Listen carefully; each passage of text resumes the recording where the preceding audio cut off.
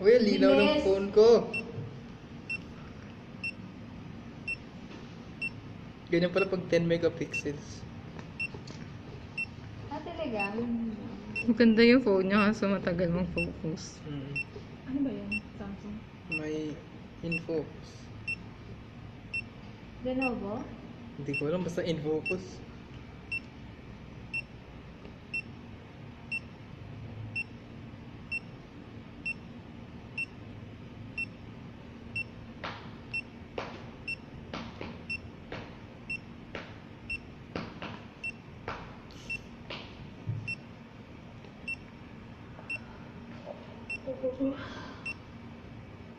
Parang heartbeat nung nasa IC. Okay na pala to.